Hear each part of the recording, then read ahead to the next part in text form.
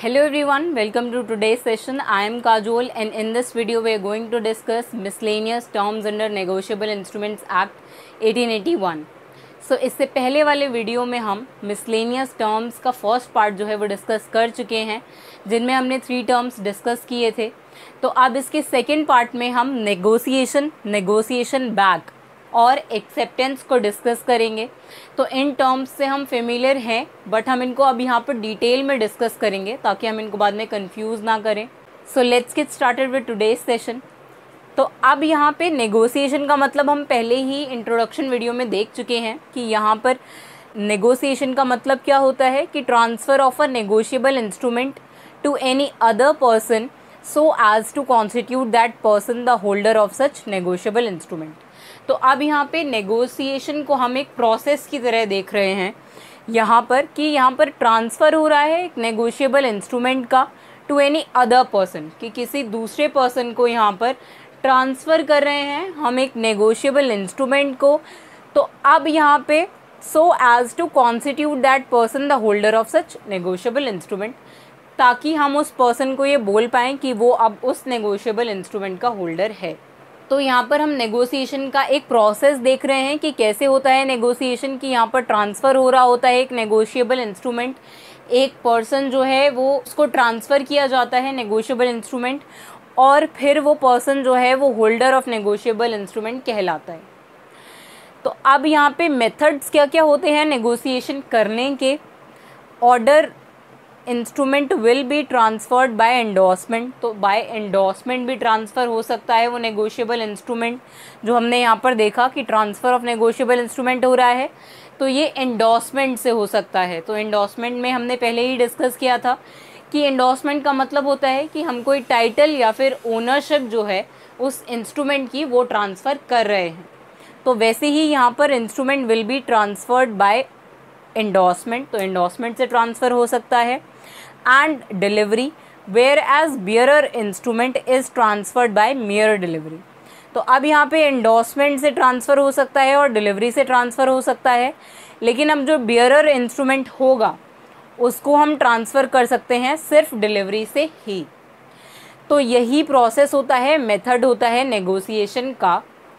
तो अब हम देखते हैं, हमने ये नेगोशिएशन इसलिए डिस्कस किया कि ताकि हम ये टर्म नेगोशिएशन बैक को समझ पाएँ। तो अब नेगोशिएशन बैक क्या होता है कि if a negotiable instrument is negotiated by the holder अब यहाँ पे उस नेगोशिएबल इंस्ट्रूमेंट का जो होल्डर है, वो नेगोशिएट कर रहा है उस नेगोशिएबल इंस्ट्रूमेंट को but the endorser again becomes the holder of such negotiable instrument लेकिन अब वो पर्सन जो पहले इंडोस कर रहा था उस नेगोशिएबल इंस्ट्रूमेंट को उसके पास ही वापस वो इंस्ट्रूमेंट पहुँच जाता है तो वही अब उस इंस्ट्रूमेंट का होल्डर बन जाता है। तो अब ये पूरा प्रोसेस कैसे परफॉर्म हो रहा है कि मान लेते हैं ये पर्सन है और इसने एक नेगोशिएबल इंस्ट्रूमेंट को एंडोर्स किया किसी दूसरे पर्सन को। तो अब ये जो नेगोशिएबल इंस्ट्रूमेंट है, इसका होल्डर हो गया ये पर्सन तो अब ये जो प्रोसेस हुआ कि इस पर्सन ने इंडोर्स करके एक नेगोशिएबल इंस्ट्रूमेंट को ट्रांसफ़र कर दिया एक दूसरे पर्सन को।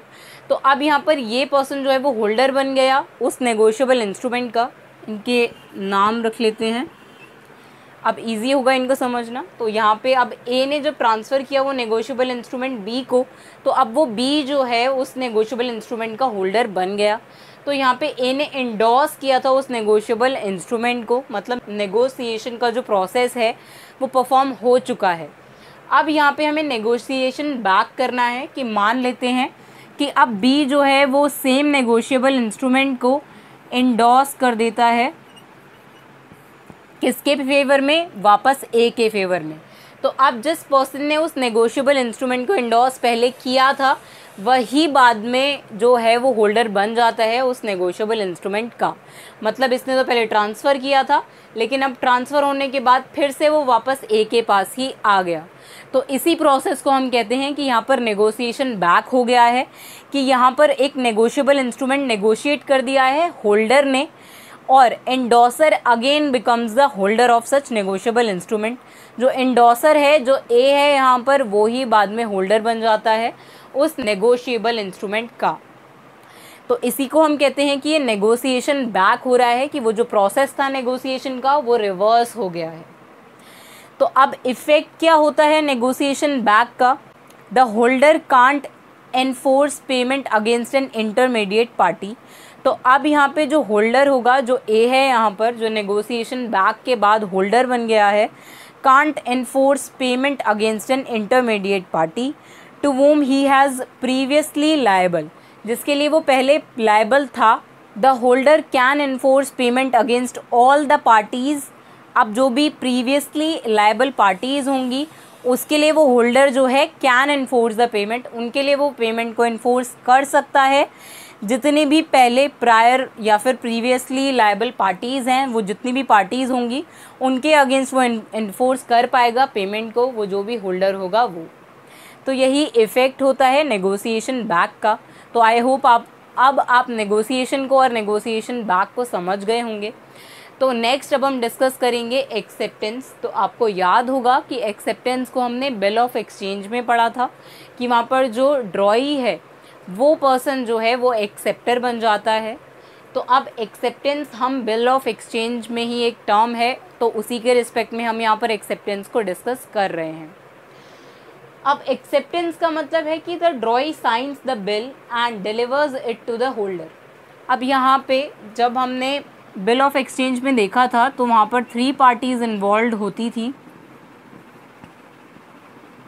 ये था ड्रॉर ये ड्रॉई और ये पेई तो अब यहाँ पे जब ड्रॉई जो है, यहाँ पर ड्रॉर ने एक बिल जो है वो बनाकर ड्रॉ कर कर दे दिया था ड्रॉई को।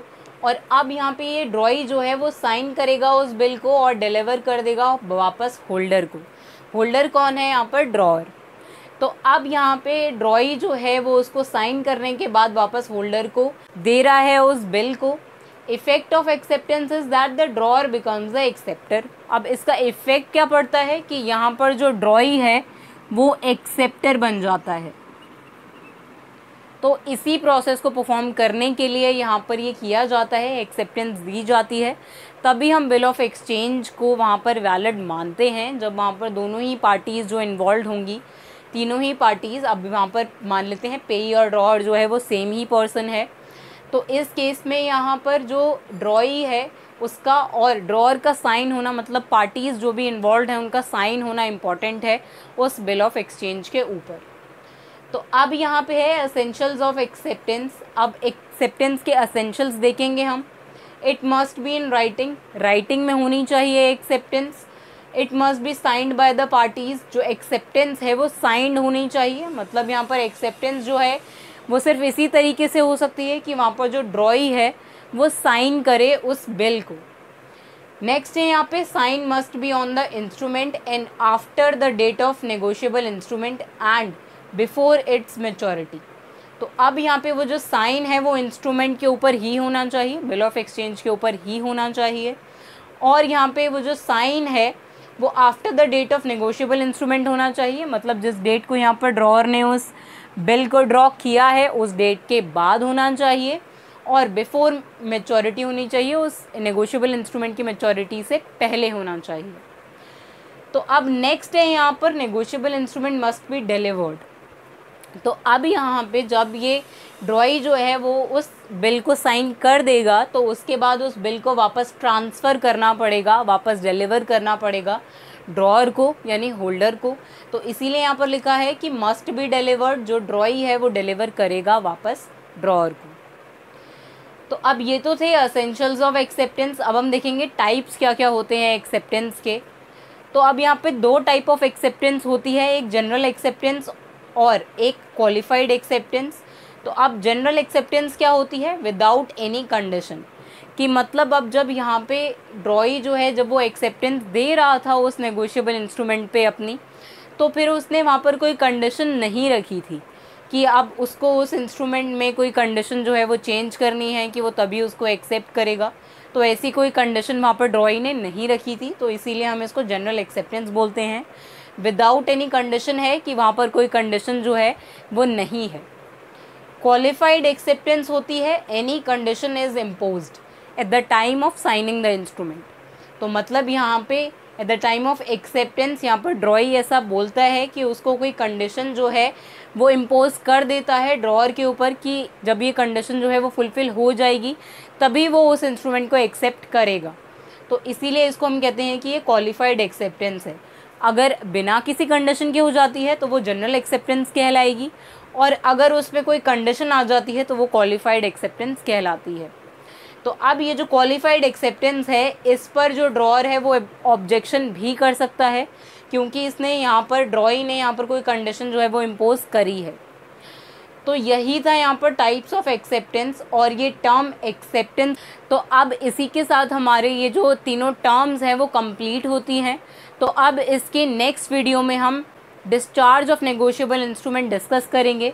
So see you in the next video thank you